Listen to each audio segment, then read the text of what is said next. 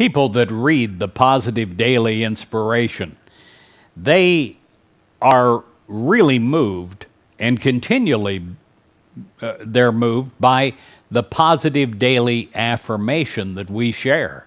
People write it down, they show me years later where they've been carrying it in their wallet and reading it often, sometimes daily.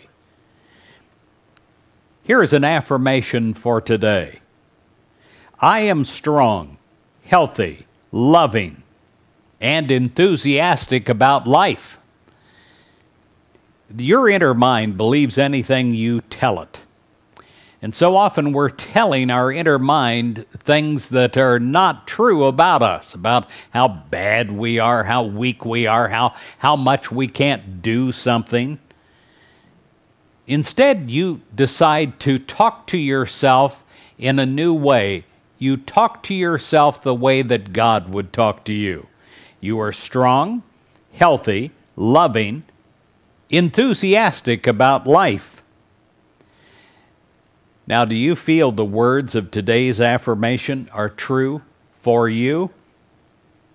Then praise God and give thanks and look for ways to share your strength, your health, your love, your enthusiasm with others. The words that you speak have a powerful effect on your life's experiences. Knowing this, you repeat today's affirmation often and with conviction throughout this day.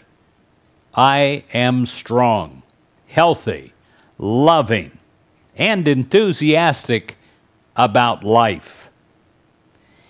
Even if you don't feel as if the words of life and truth best describe you, keep on affirming them, and soon you'll see soon that these words do describe you. As you speak these powerful words, you'll see proof of their power. You'll see and you'll feel a new surge of strength, of health, vigor, and vitality. Divine life will rise within you and fill your heart with love.